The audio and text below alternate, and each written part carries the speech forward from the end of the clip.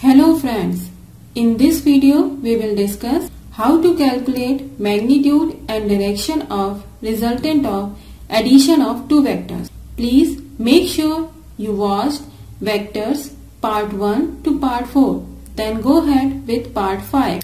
Suppose we have two vectors a and b and we have to add them and find the resultant r. So for that we will use head to tail method to draw it.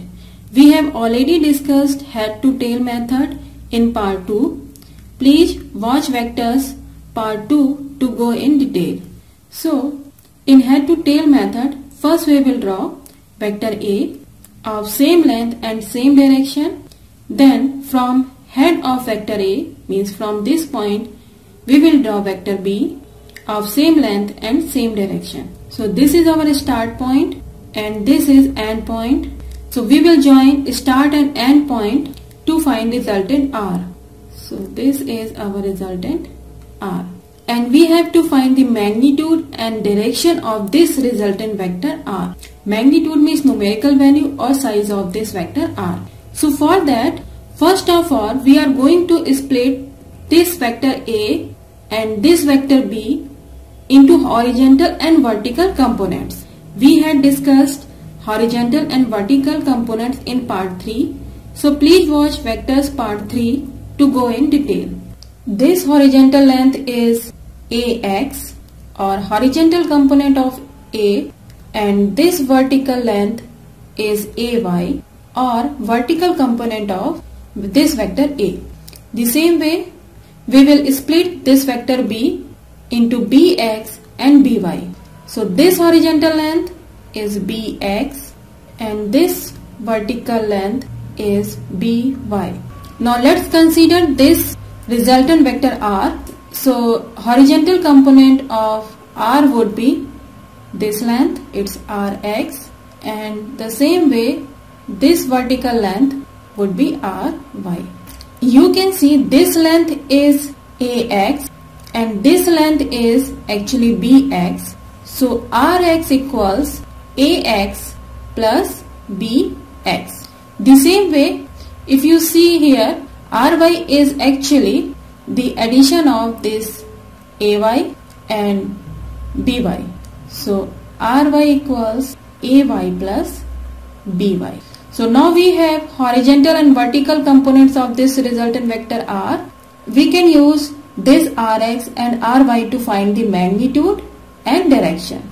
To find the magnitude of R, we will use this formula square root of Rx to the whole square plus Ry to the whole square. And to find the direction of R, direction means this angle theta. So theta would equals tan inverse Ry over Rx. We have studied these two formulas in detail in part 4. So please watch part 4 to go in detail. So let's review all the steps again. So in the problem you will be given two vectors A and B and you have to find the resultant vector R which would be the addition of the of A and B. So for that step 1 you have to find the horizontal and vertical components of each vector A and B. That means you have to find ax and ay using formulas ax equals to a cos theta and ay equals to a sin theta. The same way you have to find bx and by. bx equals to b cos theta and by equals to b sin theta. Then step 2 you have to add both horizontal components ax and bx to find the horizontal component rx and add up vertical components ay and by to find vertical component ry. Then use these two formulas to find the magnitude and direction of resultant. Now let's take an example. Here is the question. So you are given two displacement vectors A and B. Value of vector A is 20 meter and its angle is 30 degree while value of vector B is 50 meter and its angle is 60 degree from the east. We have to find the magnitude and direction of resultant vector R which is the addition of vector A and vector B. So first of all we will find x and y components of each vector A and B. So for that we can make a table. We will write x components here and y components in this row. Formula of Ax would be A cos theta and formula of Ay would be A sin theta. So value of A is 20 meters and theta 1 is 30 degree and plug in values here. Solve this you will get here 17.32 meter and here 10 meters. The same way we have to find the x and y components of vector b. So formula of bx is b cos theta and by equals b sin theta. So plug in values it will become 50 cos 60 degree. The same way here 50 sin 60 degree. You can use calculator to calculate these values 25 meters and here 43.3 meters. So now we have x and y components of each vector.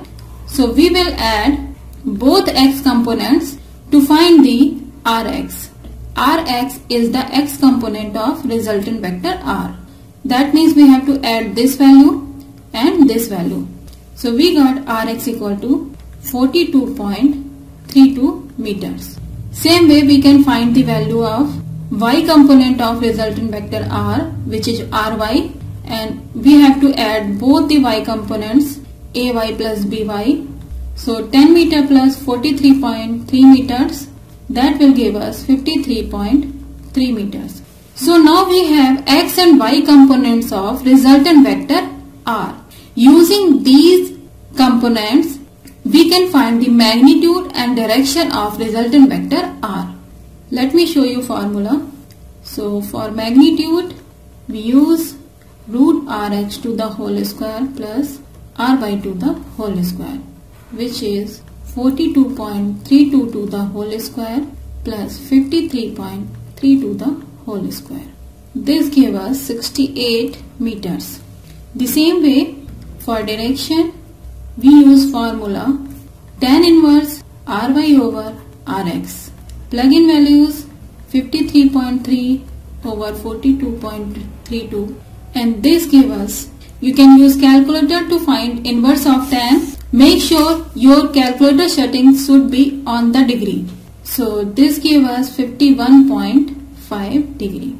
So 68 meter is the magnitude of the resultant R and 51.5 degree is the direction of resultant vector R. I hope you understand this topic so far. In the next video, we will discuss how to add more than two vectors numerically. So stay tuned and study more.